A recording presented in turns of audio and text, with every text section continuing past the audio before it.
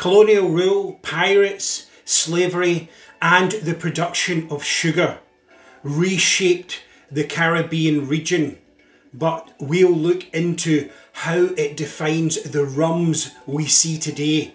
Let's dive in.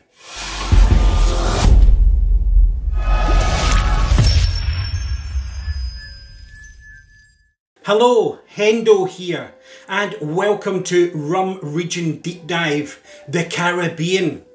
In this video, we will explore the world's most famous rum region in more detail.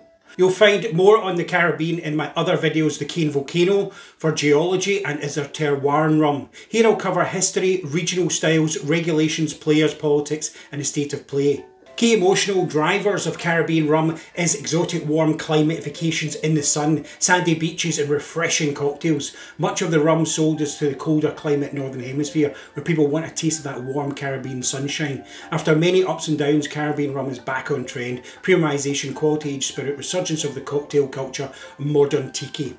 Rum was the spirit of choice during the pandemic, but I have to take you back where it all started in the Caribbean centuries ago. History The colonial Europeans introduced sugarcane to the Caribbean uh, with uh, Columbus's second voyage in 1493 to Hispaniola. Now, the Portuguese also introduced sugarcane plantations in the 1550s off the coast of Brazil. The Dutch uh, conquered Brazil in 1630, and the Dutch were actually the sugar specialists in that era uh, until the English then developed on Barbados, the island of Barbados. Early English colonies were in Barbados, Antigua, Jamaica by 1655. After the union with Scotland in 1707 became the British Empire. Uh, the colonies then developed with Grenada, Tobago, Dominica, St. Lucia, and then Guyana and Trinidad. Rum is first distilled by European colonists and African slaves from the 17th century in the Caribbean. The Portuguese, British, French, Spanish, and Dutch colonists were all running sugar plantations. These were brutal conditions for enslaved people, labour intensive. Most didn't live very long. Producing sugar was far more important than making rum. Molasses was tipped out into the sea before realising its value. Empires grew on the back of chattel slavery, 1661 on Barbados by the English. Chattel slavery was an enslaved person, the legal property of a slave owner. Lucrative trade routes called the triangular trade shipped white gold of sugar and tobacco from the Caribbean east US coast to the UK. UK traded weapons, cloth and iron to Africa and then slaves were brought from Africa to the Caribbean. Then Caribbean had to shift trade from New England to UK after the American Civil War. George Washington had insisted on a hogshead of the finest aged Barbados rum for his 1789 inauguration party. It was a slow route to abolition, but the abolition of chattel slavery in 1833 in the UK, 1865 in the US. Society now is only recently addressing these horrific practices. My city, Glasgow in Scotland, has a Caribbean footprint as a beneficiary of that being the centre of the UK sugar trade at the time. Now to regional styles. The Caribbean islands were pawns in the colonial battles of the past.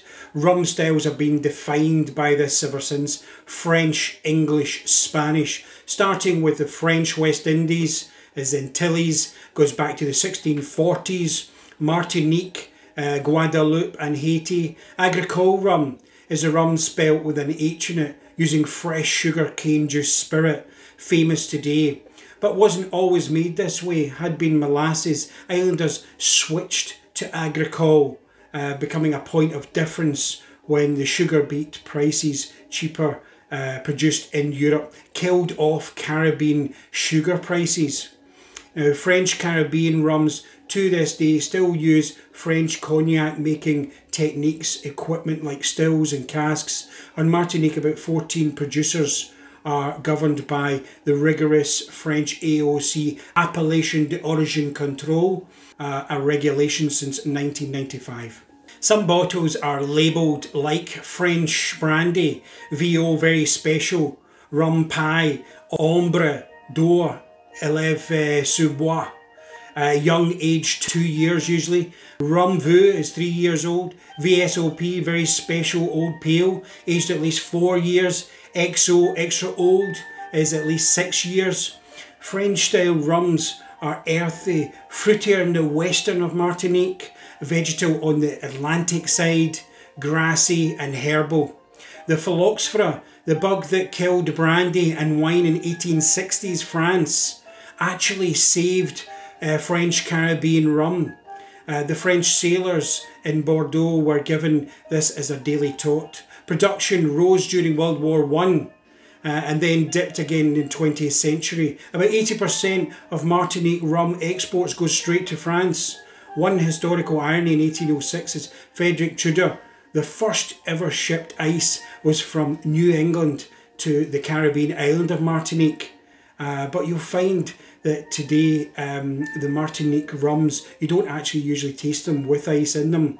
Uh, like a tea punch, for instance, on Martinique won't be served with ice, or even in Paris rum bars. Quite funny that. Onto the English style was defined by the English Navy and then the British Navy after the 1707 Union uh, giving sailors a daily tot rum ration right up until 1970. British Caribbean rum style became the most widespread you'd probably see over time. Popular styles like black or dark rum, which is uh, young but coloured and sweetened. Uh, Navy strength rum and unaged overproof rum the islanders like bold flavours, rustic and woody. British colonial islands interlinked trade, including molasses from Guyana, and you can see this even today in some uh, Grenada and Barbados rums. Rums from Trinidad, uh, Jamaica and Barbados are the most revered, unadulterated style rums. On bottle labels, ages are numbered or XO for over six years. Now, some Jamaica pot distilled rums have this kind of funky uh, flavour and taste. You reuse dunder, but not all. And uh, you also have in Trinidad Caroni, which is this iconic closed distillery. Now, Spanish style. Many of the colonies in the Caribbean were Spanish at one point or another.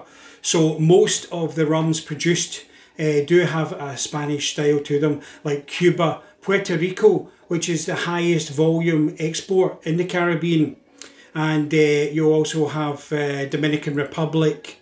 So Spanish rum, the colonists brought their brandy making equipment with them to the New World from Spain, and you'll see Solera system being used, which is uh, brought from Jerez in Spain.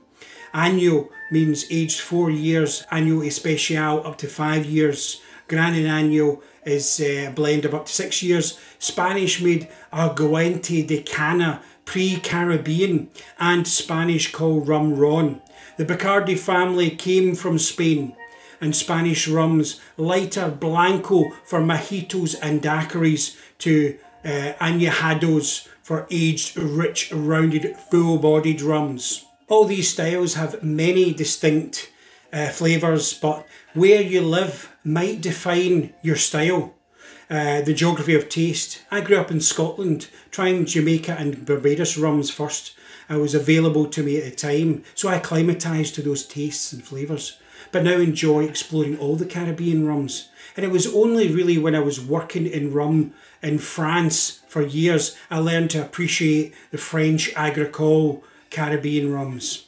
Now to regulations. Caribbean Community has the CARICOM rum standard uh, representing 20 countries uh, was first established in 1991.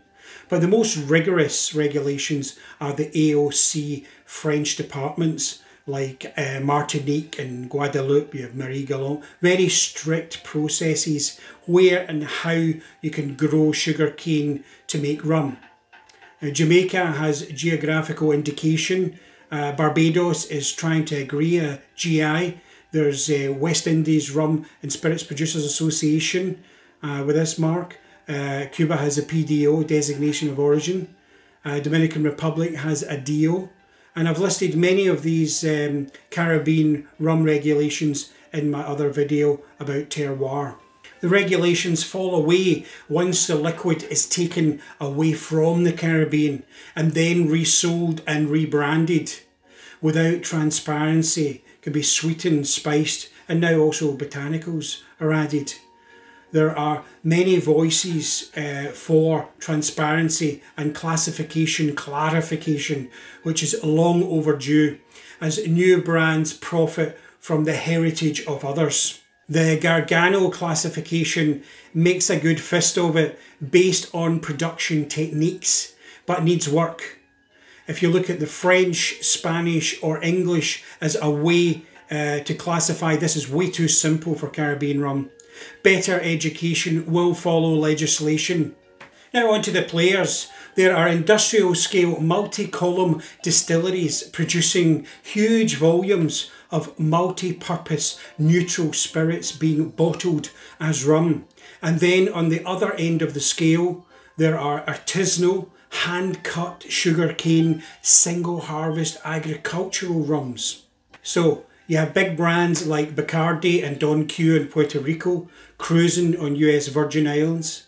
You have Havana Club, uh, Cuba. You have Ron Barcelo and Brugal on Dominican Republic. You have Rum Barbancourt uh, Clairin on uh, Haiti, Appleton's Estate and Worthy Park on Jamaica, Mount Gay and Foursquare on Barbados, Rum JM, uh, Clermont and a dozen others on Martinique, Guadeloupe Damoiseau, Angostura and Closed Distillery Caroni on Trinidad, Chairman's Reserve and Admiral Rodney on St Lucia, uh, English Harbour on Antigua. The list goes on. Then you have independent bottlers like uh, Plantation Rum by Maison Ferrand, uh, Habitation Velier, Berry Brothers, uh, Cadenheads, Banks, Maison, A.H. Riise in Denmark, brands like Priorat, Lamb's Black Tot, Myers Dark, Pusser's Rum, Duppy Share. There's hundreds more on sale depending which country you live in. Now, politics, I could make a series of videos on Caribbean rum politics, so we're just going to skim over the surface here. Wars, US prohibition, Cuba, trade embargo, zero for zero tariffs, the list goes on. Today, the elephant in the room is still the heavily subsidised markets of Puerto Rico and US Virgin Islands, their tax rebates. So Diageo has just uh, celebrated 10 years trading from there.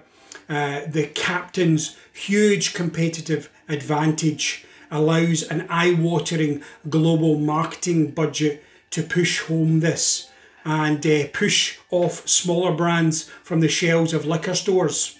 Now the US Cuba trade embargo means Cuban Havana Club doesn't sell in the US. Bacardi v Pernod Ricard court battles continue over the name Havana Club and um, Pernod had made a deal with the Cuban government uh, way back in 1993 and sells 54 million bottles of Havana Club worldwide. And Bacardi has been selling Havana Club uh, made in Puerto Rico since 1995 to the US. During US prohibition, some American bartenders fled to Cuba uh, and the, on their return helped popularise the Cuban cocktail culture, the daiquiri, and other classics we know and love today. Now, the state of play. In 2021, you'll find many rum brands labelled Caribbean on your local liquor store shelves. Uh, many new brands are blends of rums from the region. Uh, they'll have uh, been sourced possibly through a bulk supplier, maybe from the Netherlands, uh, where they'll help with the uh, brand creation, the blending facility, then is shipped, bottled, and branded in the UK or EU country. Also, you have uh, continental aging, where the Caribbean spirit is taken and brought to France or UK to be matured slowly. Remember, the Caribbean has about 8% angel share, depending on where you are, and then finished possibly in other casks like sherry, port, or whiskey casks to be marketed with uh, Caribbean heritage. The category is being further complicated and diluted. There's a lack of brand and category education, which uh, confuses consumers. Caribbean rum is different to different people. So in the Caribbean itself, you'll find the overproof, unaged strong rum has long been popular with locals. Any aged or premium rum gets shipped exported. In the US and UK, rum and coke is popular. French, Low Countries, and Denmark, they like it neat or in tea punch. But generally, brands are moving towards premiumisation. Caribbean rum, just look at how scarcity marketing is driving Foursquare, Habitation Velier, brands like this um, as they go straight onto rum auction sites to be flipped like whiskey. But remember, the age on the bottle is not like whiskey. Caribbean rum's quicker maturation means you can think about doubling the number since it's been tropically aged. So an XO Caribbean rum feels quite mature spirit. I recommend looking behind labels and not getting caught up in numbers. Seek out distilling heritage and artisanal practices are a good place to start. Turning the tide are some exciting new producers like Renegade Rum on Grenada and I shared a stand and the enthusiasm of Rum Hardy from Martinique at uh, Bordeaux Rum Festival just before the pandemic. Exciting young producers. So tell us what you think of Caribbean rum, uh, what's happening. Do you have any favourites at the moment?